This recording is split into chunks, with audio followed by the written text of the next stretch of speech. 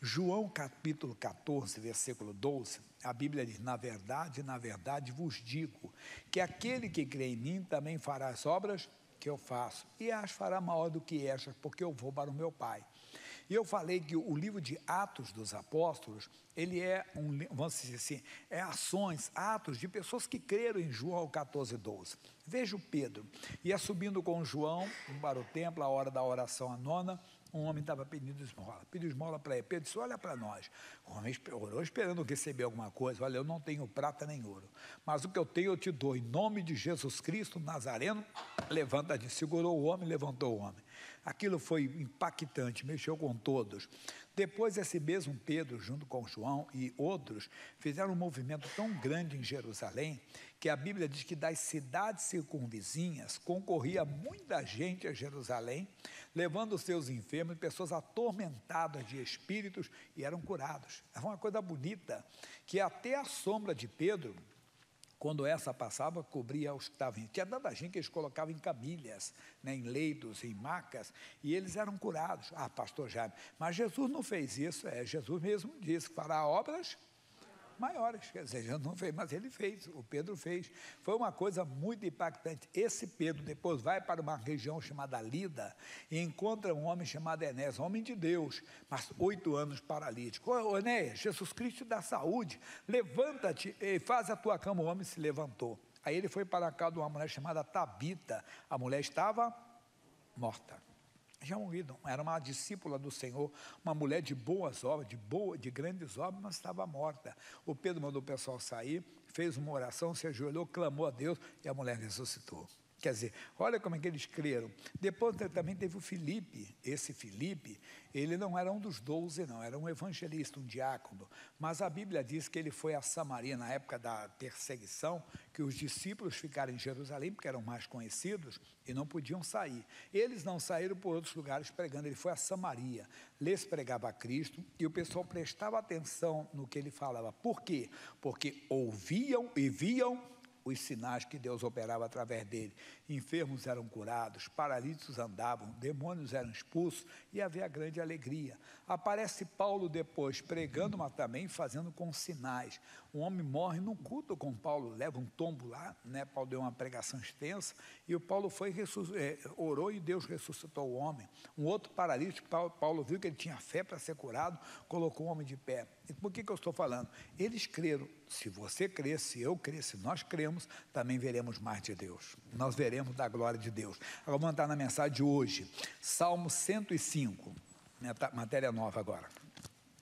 Eu terminei no outro culto o Salmo 36. Agora é o Salmo 105, versículo 1. E ele começa dizendo assim: Louvai ao Senhor. Nós aprendemos que louvar é exaltar as qualidades de alguém. Nós temos que exaltar o Senhor diante do mal. Entenda, vem a doença, não exalte a doença, não, porque essa doença é agressiva, essa doença é terrível. É, mas Jesus é mais terrível.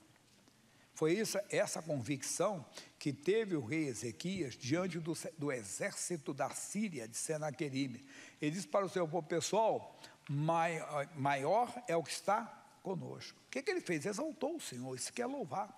Isso quer louvar o Senhor. É como Paulo que dizia: se Deus é por nós, quem será contra nós?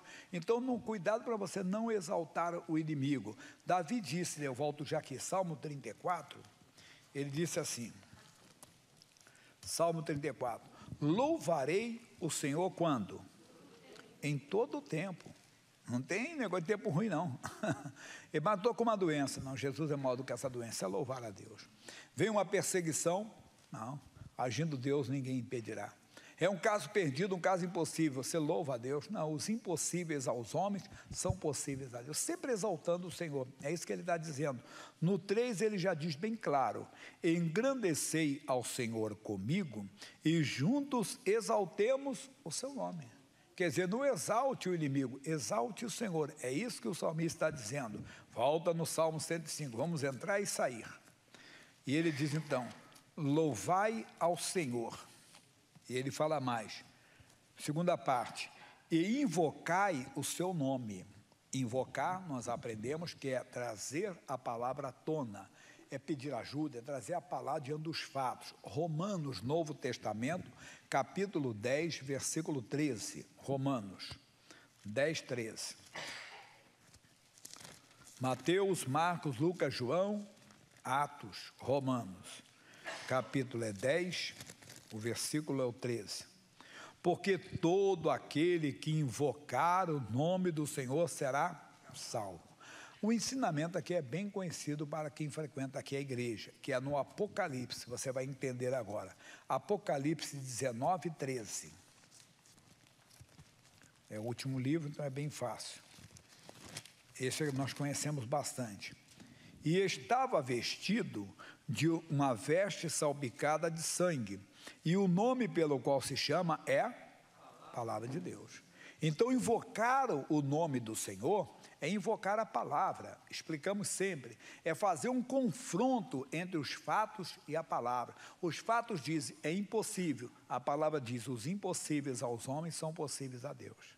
Você faz um como Deus, esse cara está perdido, mas não tem nada a fazer mas eu, eu, busco a tua palavra, eu invoco, está escrito agora, eu trago à tona agora, a tua palavra diz que para o Senhor não é impossível, eu estou invocando o teu poder, a tua manifestação, é isso. Você faz um confronto entre os fatos e a palavra, você então fica com a palavra, isso é invocar o Senhor. A igreja de Cristo tem que aprender, por isso tem que ler a Bíblia, buscar a Deus. Agora, não esqueça de uma advertência, qual? Do Salmo de número 50. Salmo 50, versículo 15. Diz: Invoca-me no dia da angústia, eu te livrarei e tu me glorificarás. Mas, versículo 16: Ao ímpio, diz Deus, que tens tu que recitar os meus estatutos e tomar o meu conserto na tua boca. O que é o ímpio? É o ímpio é aquele que não tem respeito pela palavra de Deus é aquele que não tem respeito pela onisciência do Senhor. Ele, entenda bem, Deus sabe tudo, conhece até os nossos pensamentos, ele nem liga para isso. Quem tem temor de Deus, não, Jesus, misericórdia. Ele tem temor. Então, essa pessoa, ela pode invocar Deus, o ímpio não. Não adianta ele citar a Bíblia toda para Deus, Deus, mas está escrito, o Senhor disse, está na tua palavra, é, não vai funcionar se você estiver né, fazendo o que não está certo. Ele diz: Pois aborreces a correção e lança as minhas palavras para detrás de ti. Ou seja, aquela pessoa que no dia a dia ela não dá primazia à palavra de Deus, ela não dá o primeiro lugar na palavra de Deus, essa pessoa não, não adianta invocar. É aquela que é seletiva, ela escolhe o que ela quer da palavra. Não. Jesus respondeu ao diabo na tentação do deserto: o homem viverá de toda a palavra, não é de algumas, não. A pessoa faz seletivo, não, isso aí eu não gosto, isso aí eu não quero. Cura divina, aleluia. Mas perdoar, não, aí também não é, é demais. Não, aceite a palavra de Deus, viva a palavra. Bem, vamos voltar aqui lá no Salmo 101, senão ficamos parados. Então, louvai ao Senhor, já vimos que é exaltar o Senhor, invocar é trazer a palavra à tona, fazer um confronto entre a palavra e os fatos.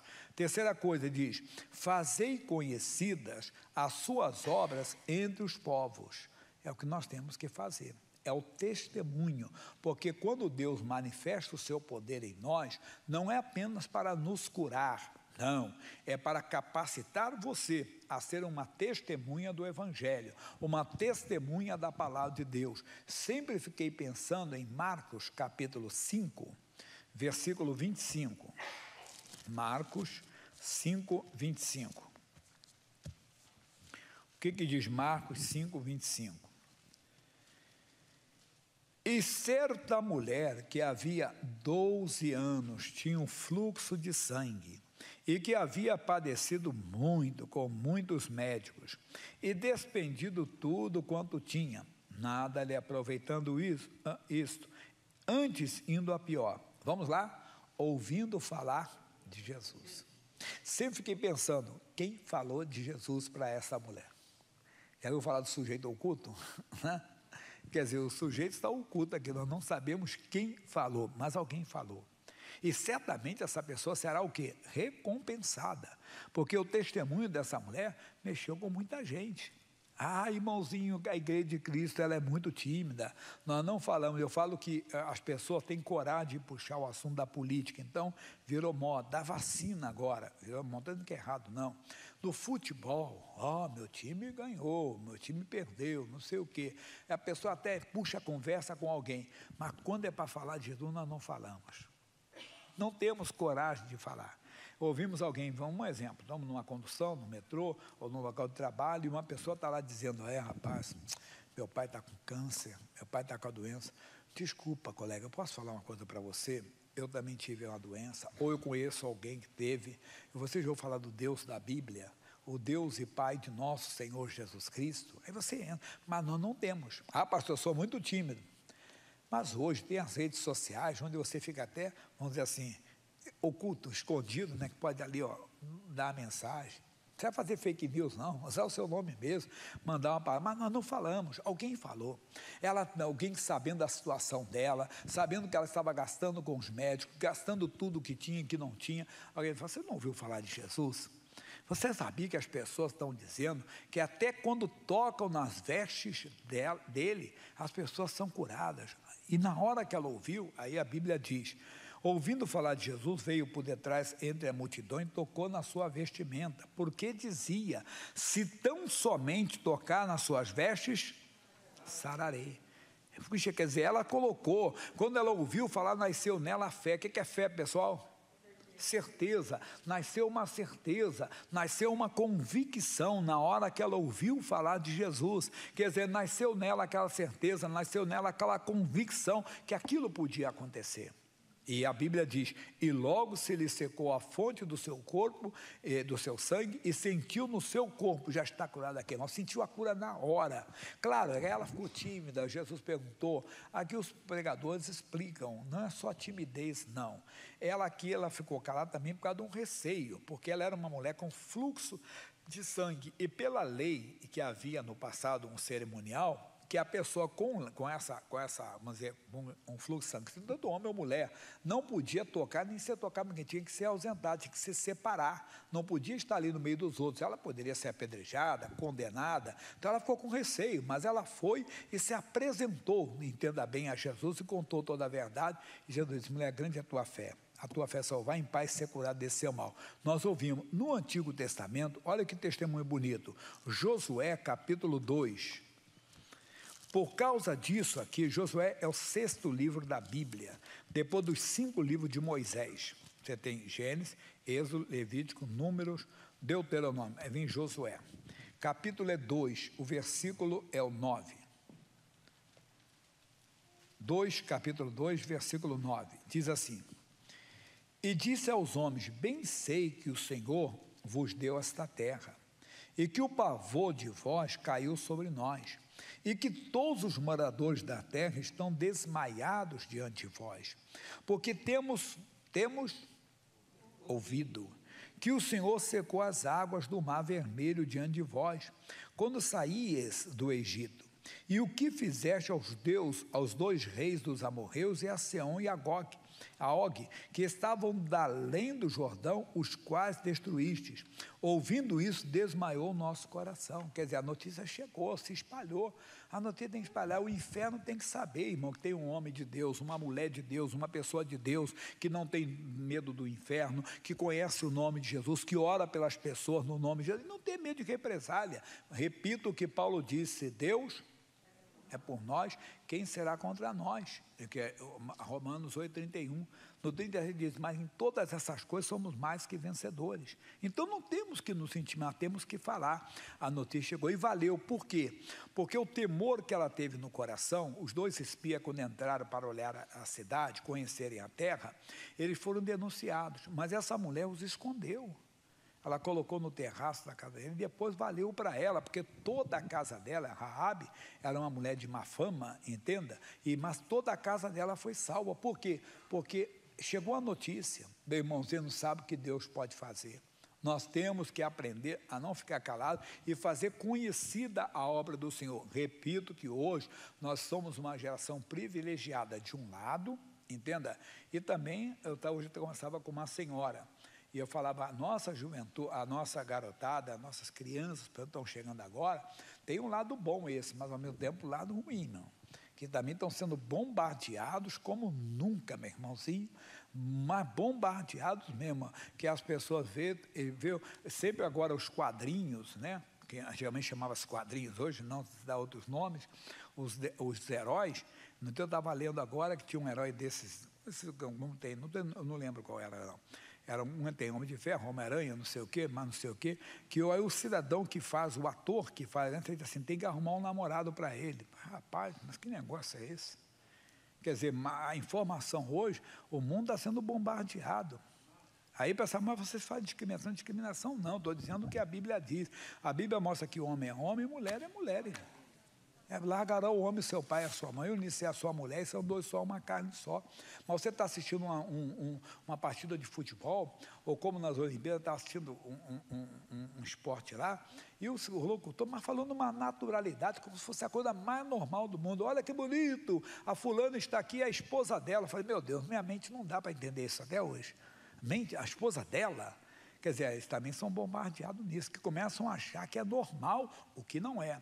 é o que o mundo, o que o diabo quer, que a igreja de Cristo se conforme com esse mundo que eu preguei quarta-feira. Não, não, não temos que nos conformar, não temos que aceitar, não. Temos que aqui não brigar contra a carne e o sangue, mas no mundo espiritual combater, e combater sério. Mas voltando a falar do lado positivo, nós temos que a, a, a aproveitar, divulgar a obra do Senhor, você dá testemunho do que aconteceu na igreja, do que você viu, do que aconteceu com você, que você soube, que aconteceu com alguém. É o que está dizendo para nós aqui. A notícia chegou a Raabe. E Raabe então protegeu aqueles homens, guardou aqueles homens e a missão pôde ser cumprida. Um pouco mais na frente, nós temos o segundo livro de Crônicas, capítulo 9. É o mesmo assunto, bem rápido, segundo Crônicas 9. Você conhece, já vou falar da rainha de Sabá, diz aqui. E ouvindo, e ouvindo, olha aqui, isso é importante, ouvindo, ouvindo. Se ela ouviu porque alguém falou, lógico, né? Então, e nós? As pessoas devem ouvir, ouvir o que de nós? Ouvir boas novas, boas notícias. Mas hoje, o que, eu falo sempre aqui? Vem lá o, aquele que se intitula um apologético, ou peseu do apologético. Não, os igrejosos só querem saber de cura, de milagre. Meu irmão, eu não vim para a igreja, eu vim para aqui para ser curado. Depois aprendi que Jesus salva, que batiza com o Espírito Santo, tem tudo. Mas o que me trouxe à igreja foi isso. E as pessoas veio pregar o Evangelho, dar as boas notícias, não estão mandando as más notícias. Não são pregadores do Evangelho. Evangelho é boas notícias, Evangelho é boas novas. E aqui a rainha de Sabá diz assim: E ouvindo a rainha de Sabá, a fama de Salomão veio a Jerusalém, experimentar Salomão com enigmas, com uma muito grande comitiva de camelos, carregados de especiarias e ouro em abundância, e pedras preciosas. E veio a Salomão. E falou, falou falou com ele de tudo o que tinha no seu coração. E Salomão lhe explicou todas as suas palavras, e nenhuma coisa havia oculta que Salomão não lhe declarasse. Tudo ele respondia para ela. Ensinava e falava com ela. Pular um pouquinho para não ficar extensa. Versículo 5. Diz assim o versículo 5. E então disse ao rei: Foi verdadeira a palavra que ouvi na minha terra, acerca dos teus feitos e da tua sabedoria. Porém, não cria nas suas palavras. Ah, que isso? Tem, tem. As pessoas vão lá fora, não, Deus cura, cura nada. Cura, isso é, meu, um homem veio assistir um culto nós de domingo, todo mundo adorando a Deus, louvando, foi um culto bonito, mas não fizemos uma oração de libertação, e ele naquele dia veio para isso, e dentro dele esse negócio de demônio é tudo mentira, é tudo enganação. Aí, disse que essa igreja que expulsa. O pastor Glauco estava fazendo o final da reunião. E no final, ele deu vontade de ele orando, ele começou a orar, fazer a libertação, manifestou um demônio do lado do pai e disse: Rapaz, o negócio é verdade mesmo. ele estava assim. Já falei, contei várias vezes para você de um homem, e eu conheço bastante. Eu tratei mais de 20 anos, vocês já ouviram. Eu estava aqui, o escritório lá na frente nessa época. Ele me pediu oração, estava com depressão, pânico esposo de uma moça que eu conheço há mais de 30 anos, e pediu oração. E eu fui orar por ele. Depressão, ele foi criado dentro de feitiçaria, negócio de terreiro, a família toda sempre envolvida com isso. E ele estava com muita depressão, só pensando em negócio de suicídio e morte. Quando eu orei, manifestou o demônio. E o demônio manifestou falando inglês. E um rapaz trabalhar comigo, meu pastor auxiliar, ele era professor de inglês, ele bem conhecedor do idioma. Esse pastor é um inglês jamaicano que ele está falando. Aí ele falava uma coisa, né, o demônio, e o pastor ia interpretar. Disse, oh, irmão, você não vai ser intérprete de demônio, não. Ô demônio, eu lhe proíbo de falar em português. Você vai falar inglês. É, não de falar inglês, você vai falar em português. O demônio zombateiro, se levantou, assim, começou dançando na chuva. Começou mesmo. Pega na internet dançando na chuva, você vai ver o demônio dançou aqui cantando. O demônio ele proibiu de falar inglês, é português. Ele, bem zombador, mudou a voz. Você me proibiu falar, não cantar. Sabe, para de palhaçada, é cantar ou falar que é só em português. Bem, repreendi, pá, mandei, expulsei. Esse rapaz é vivo até hoje. Pergunta se ele fala inglês. Talvez não fale nem, nem, nem as talvez as palavras que todo mundo conhece, good morning, né, coffee, essas coisas, mas conversar, não tem diálogo nenhum, mas falava. Quer dizer, até as pessoas vão ver que o, mundo espiritual é real, irmão. E os demônios devem ser expulsos. E aquele demônio foi expulso e o rapaz ficou completamente liberto e está liberto até o dia de hoje. É isso que ele está dizendo aqui para nós. Ela disse: Eu ouvia, mas não cria nas suas palavras, até que vim e os meus olhos ouviram. Então, mas nós temos que falar, eles não crerão, como nós também não criamos, nós, nós, eu e você, até que um dia você veio, um dia aconteceu com você, ou você viu acontecer com alguém e você viu que o Evangelho é verdadeiro. Você começa a ver que o poder de Deus é real. E está dizendo: Até que vim, né, os meus olhos ouviram, e eis que não me disseram, a metade da grandeza da tua sabedoria, sobrepujaste a fama que ouvi. Oh, glória a Deus. Essa palavra é bonita. Vamos lá, pessoal, vamos voltar que tem mais coisa ainda no Salmo 105.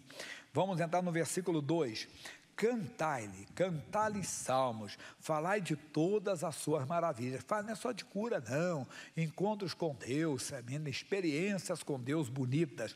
Três, gloriai-vos no seu santo nome. Alegre-se o coração daqueles que buscam ao Senhor. Uh, que coisa linda, que coisa maravilhosa. O que é isso? Nós temos que nos alegrar no nome do Senhor. No livro de Atos dos Apóstolos, capítulo 3, versículo 16. Lembra que eu falei do homem que foi curado na porta formosa do templo, que estavam todos cheios de pasmo e assombro pelo que acontecera com aquele homem? Diz aqui o Atos 3,16: E pela fé no seu nome, fez o seu nome fortalecer a este que vedes e conheceis. E a fé que é por ele, deu na presença de todos vós o que? Esta perfeita glória a Deus, meu irmão, vamos ter fé nesse nome. Vamos nos gloriar nesse nome. Nesse nome, então, não, eu tenho o nome de Jesus. Não tenho medo de nada. Alguém faz, está amarrado em nome de Jesus. É verdade, tem que usar esse nome. Começou uma doença, não vai prosperar, está amaldiçoada em nome de Jesus. Recebeu o diagnóstico. Não se abata, não. Se exalta, se, no bom sentido, se levante nesse nome. Fala, se exalta, você achar que é. Não. Se levante nesse nome. Não, essa doença está amaldiçoada em nome de Jesus. Não, mas na hora tem que ser uma coisa automática, é isso que ele está dizendo para nós no Salmo 105, 3 aqui: gloriai-vos no seu santo nome. É esse nome, é nesse nome então que você se levanta, se alegra diante de um diagnóstico de um câncer, entenda? E você diz: ah, meu Deus, você acabou a minha vida, acabou Jesus. O doutor falou que é agressivo, mas em teu nome já está. Mas na hora você já fala. Até quando você anda com esse nome, você nem sai do consultório, na frente do doutor, você está amarrado nome de Jesus quê? Não, caso é sério. Não, tudo bem, doutor, eu vou tomar minhas providências. Toma, faz o remédio, toma o remédio, faz o tratamento que ele mandou, mas nesse nome você já repreende o mal. Se gloria nesse nome. Não é só doença, não. Ô, meu irmãozinho, lembra que eu falei? Não seja seletivo. Se apareceu o Satanás aqui, entenda bem, na sua mente você está amarrado, demônio. Mas se apareceu outra coisa que parece agradável, mas é pecaminosa. Na mente está amaldiçoado em nome de Jesus. Você tem que, porque amaldiçoado, quem quer, quem quer doença? Quem quer doença? Ah, ninguém quer, entenda? Mas às vezes você quer algo que você sabe que é proibido. Não deve querer. Ah, pastor, mas eu não sou dono da minha mente. É, mas você é dono da sua boca, do seu coração. E a boca fala do que a mente está cheia? Coração está está amaldiçoado esse pensamento, ou esse desejo. Por quê? Porque você não vai deixar, você vai se gloriar nesse nome. Porque se você aceita o prazer do inferno, você vai aceitar a maldição. E ele não tem prazer para ninguém, que ele é uma isca. A missão do Satanás qual é, pessoal? Matar, roubar. Eu sempre digo para vocês: ou você acha que o diabo quer te levar para uma ilha de prazer? de prazeres, de fantasias. Não, quer tirar para o inferno onde o bicho não morre, o fogo não apaga e vai ser de dia e de noite. Não, está amarrado. Então, na mesma hora, você invoca o nome do Senhor e se gloria. Não, eu sou de Jesus. Em nome de Jesus, está tá, é como o cristão que está ligado, na mesma hora, está amarrado em nome de Jesus. Ele fala esse nome. Mas, vamos agora para o versículo 4. Buscai ao Senhor e a sua força quando, pessoal? Continuamente. Ô, meu irmão, não é de vez em quando, não. Passou a tempestade, você para de buscar. Buscar é se envolver com ele, é querer mais da Bíblia, é querer se aprofundar mais. Lembra do Salmo 34, 10. O que, que diz o 34, 10? Os filhos dos leões necessitam e sofrem fome, mas aqueles que buscam o Senhor, nada nem falta. Olha, você vê, você está pensando, o Covid não veio para. Sendo que quando começou, ele falou que não é para todos. Pegou os palácios, pegou a periferia, pegou todo mundo, irmão. No começo esse cara só doença de velho, lembra? É. Estou falando porque eu tenho mais de 60, eu estava chamando, fui lá colocado no grupo de risco. Eu tenho um filho, esses filhos, pai, pelo amor de Deus, eu disse, calma. Entenda, pai, não sei o que, o senhor está no grupo de risco, não sei o quê, o senhor tem mais de 60, não sei mais o quê, aquele negócio todo, como todo mundo deve ter ouvido isso bastante, entende? E é aquela coisa, mas você vê que não foi bem assim. Os que buscam o Senhor, não, tem que buscar, mas buscar continuamente, fazer um pouquinho mais. Isaías capítulo 55, versículo 7. Isaías 55, 7. O que, que ele diz aqui para nós? Não, desculpe que eu, eu botei o, pulei o versículo, é o 6. Buscai ao Senhor enquanto se pode achar. Por quê? Porque depois da morte ninguém vai buscar o Senhor, não. Você vai encontrar ou não vai encontrar. Eu sou o caminho, verdade. Ninguém vem Senão, se, se você não andou com Cristo, você não vai encontrar o Pai. Busque agora. Buscar é buscar o caminho, buscar andar no caminho, na palavra. Agora sim o sete. Deixe o ímpio o seu caminho. E o homem maligno os seus pensamentos. Olha aí, e se converta ao Senhor. Mas eu penso, então esse pensamento começa a, a, a repreender. Assim como você não queria ver o bicho de chifre na sua mão, te, te espetando lá com garfo, não, não aceite aquele pensamento, aquele prazer que você sabe que é do inferno. Uma linguagem clara, aquela moça bonita, mas não é sua esposa, não. E você tem esposa. Aquele homem que é um galamba, só, mas não é seu marido, é só tem marido. Amaldiçoe isso aí em nome de Jesus. E ainda que não tenha, o seu, o seu, seu pensar, a sua mente não é oficina do diabo. Você tem que ser homem de Deus, em todos os momentos. Como fala um amigo meu, até embaixo d'água. Todo momento. Aí ele vai dizer mais para nós. Vamos para Daniel capítulo 6, versículo 16. Daniel foi jogado na cola dos leões não porque era um malfeitor, não porque era um pilantra, um picareta, não, era um, um, um não, foi cilada dos inimigos. Mas Deus está com você. Quando você está com justiça. 6,16, Daniel. Você está no Isaías, passa Jeremias, Lamentações, Ezequiel, Daniel. Então o rei ordenou que trouxessem a Daniel e o lançaram na cola dos leões, que ele foi obrigado a fazer isso. E falando o rei disse a Daniel: O teu Deus, a quem tu continuamente serves, ele te livrará. Ele sabia, o rei, entenda bem que Davi, Daniel era um homem que continuamente servia a Deus, não é de vez em quando, não, é buscar continuamente, estar em comunhão com ele. No versículo 20 diz: E chegando à cova, chamou por Daniel com voz triste, já no dia seguinte, e falando o rei, disse a Daniel: Daniel, servo do Deus vivo, dar-se-ia ao caso que o teu Deus, a quem tu continuamente serves, tenha podido livrar-te da boca dos leões? Então Daniel falou ao rei: Ó oh, rei, vive para sempre. O meu Deus enviou o seu anjo e fechou a boca dos leões. Aleluia. Meu irmão, é isso que nós precisamos. Vamos terminar agora. Agora terminamos, né? Salmo 105. Então vamos lá, louvai ao Senhor e, e invocai o seu nome, fazei conhecer as suas obras. Você viu isso? Cantai-lhe, cantai-lhe salmos, falai de todas as suas maravilhas. Aproveita a internet então para o lado positivo e divulgar o nome do Senhor, contar dos seus feitos, de testemunhos, não só de falar de Abraão, Isaac e Jacó, que já são lindas as histórias, mas contar histórias reais, que agora, não que essa não ser reais, eu digo, talvez a palavra é, atuais, né? coisas que aconteceram agora, que você viu, que está vendo, que Jesus Cristo é o mesmo ontem, hoje, eternamente, principalmente o que aconteceu com você. fale.